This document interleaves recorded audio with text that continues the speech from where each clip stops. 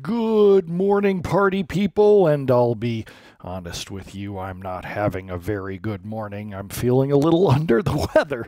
Uh, just got back from about a week vacation in South Beach, and somewhere along the line, I caught the flu. I was really worried that it was COVID. I was had a lot of the old traditional COVID symptoms. My whole body hurt. I was coughing, uh, throat was dry, a headache, all that. And uh, ended. I've tested twice now, and it's been negative both times. So I, I guess I'm in the clear there. But it doesn't stop the fact that I just still feel terrible. And like everything I touched technology wise this morning didn't work. I had to upgrade to a new version of my desktop OS, Sonoma, and then my audio capture thing didn't work, and I can't stream live on Twitch right now. I was like ready to throw something out the window, and I just said, okay, I'm in the perfect frame of mind to answer your questions. That's probably not true, but I've got everything set up so I could record. So, hey, why not? It's been a few days since I've been in here. Let's go take a look at your top voted question. So, the top voted question is Not Close Enough says if you got a new production DBA job where you had to support one of the open source databases, how would you start learning that new technology? Number one, far and away, is your peers. There were people working at that company before you maybe they had the DBA job title, maybe they didn't. Maybe they were just just developers or sysadmins, but they were working around that system already. They are your best resource. They're the ones who can tell you what problems they've had in the past with it, what to look out for.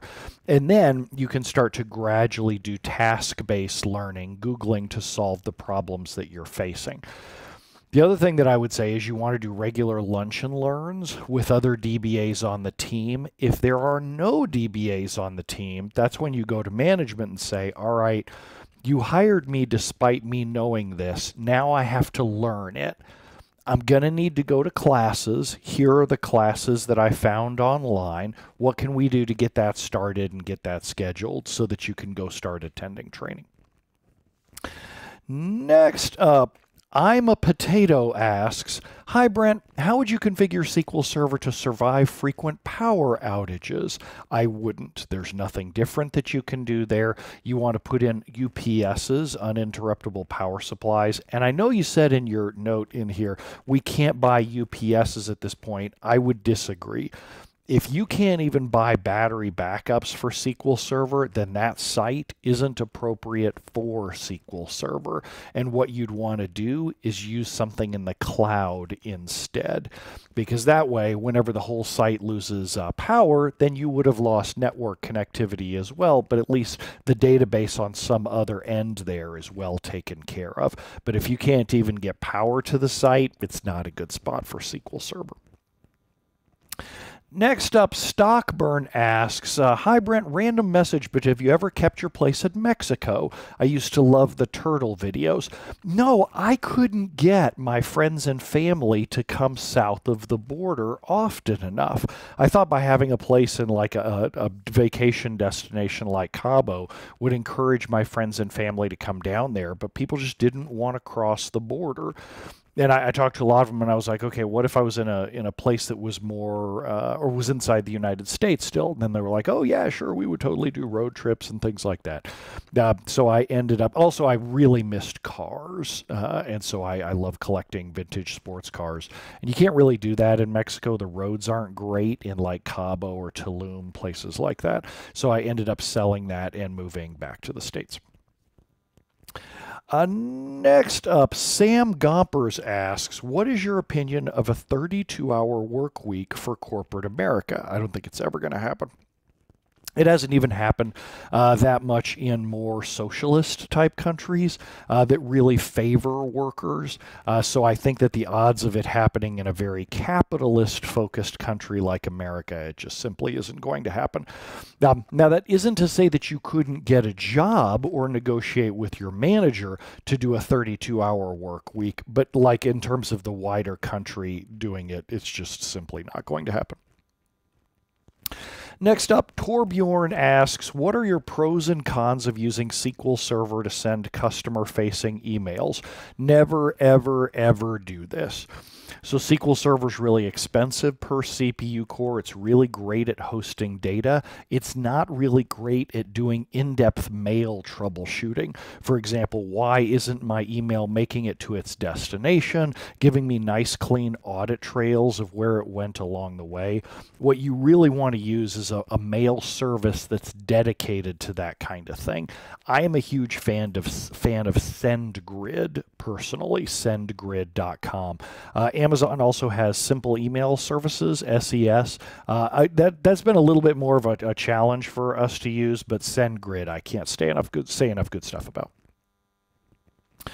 Miles asks, Hi Brent, we've got RCSI enabled on the database and NOLOCK all over the place. Oh God, why would you do that? Because then you're purposely telling SQL Server, ignore the good versions in the version store and give me crappy data instead. Ugh. Continues, we also see a lot of schema stability locks and blocking happening. Okay, schema stability indicates that somebody's trying to change the table. Somebody's trying to do an alter on the table. Somebody's trying to do an index rebuild. Uh, something about changing the table structurally or rebuilding it or updating statistics. Uh, you said, could you please explain a scenario where NOLOCK can be evil in any one of those above situations?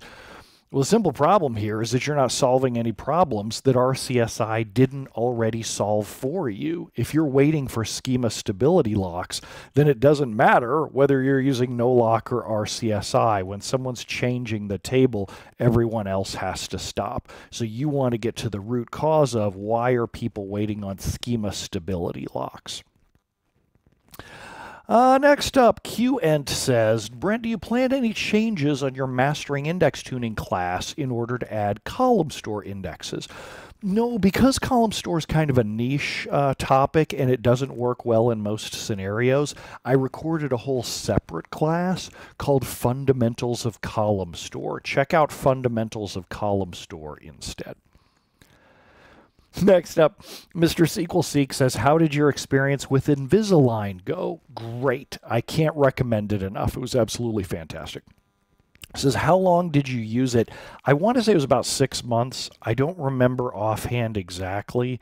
Might have been nine months, somewhere inside that neighborhood. And I love the results. I can't say enough good stuff about him. It was absolutely fantastic. Sure Man says, as a consultant, how do you protect yourself from finger pointing and blame for problems that occur after you leave? Oh, that's a great question because it runs into I run into this all the time. I give as part of my clients' deliverables, I give them an Excel spreadsheet that gives them the specific tasks that they need to do in order, and there's a column in there for who the task is assigned to. And it's the last thing that we go through is before I disconnect from a call. I say, okay, here's what needs to happen next in order. Here's the teams that it's assigned to. And I always assign to teams, even if there's only one person in the team, because it just feels a little bit better when instead of saying, you, I need you to go do this today. So I say, okay, everybody on the same page. Do you have any questions for me about the work that needs to be done or uh, how to accomplish it? Because I'll be glad to talk through it with you. If you're not comfortable with it, you can have me do the work and I'll bill you for it, however you want to do it. Sometimes clients will come back and they'll say, Brent, things aren't any better. And I'll say, okay, send me over that homework spreadsheet and tell me which parts you checked off. Well, we we didn't really do a lot of that. Okay, so if you didn't do what you were told and things didn't get better, I wonder what the cause of that could be. And just having that clear homework just really makes it easy for everybody to be on the same page. Uh, next up, M. Cardona asks, can we look forward to any new online SQL Server training content from Brent Ozar in 2024? Yes, I'm actually in the midst of recording a brand new class. Um, I don't pre-announce topics or dates just because sometimes I've had to shift gears. I've gotten really deep into a topic and been like, okay, I need to reorganize this differently or put it out in a different way. Columnstore indexes is a great example of that. When I first thought it or thought of a uh, recording it. I was going to do a mastering columnstore class. It was three days long. But as I got into it, I really understood that I needed to break out a separate fundamentals piece first because 90% of the time when someone comes to me and says they want to do columnstore indexes, columnstore isn't even the right fit to begin with. So that first one day class helps people understand whether it's a good fit or not. So I am definitely recording new stuff. I just don't pre announce the exact topics or release dates. And then one more, haha, the Edge asks, what's the Venetian sphere like? Um, I haven't been to it yet. I am actually going in two weeks. Uh, even I have tickets to the U2 show at the Sphere. I'm super excited for it. Uh, but by the time I was able to get tickets, the first couple of weeks were already sold out. But very looking forward to that. So I'll stop there and uh, hopefully y'all learned a little something there. I already feel like I'm in a little bit better mood just from talking at y'all. I was going to say talking to y'all, but I'm not live streaming, so I'm more like just yelling through the pixels of the interwebs. Um, I already feel a little bit better, and let's see if I can go conquer any of my computer problems. Thanks a lot, and I will see y'all on the next office hours. Adios.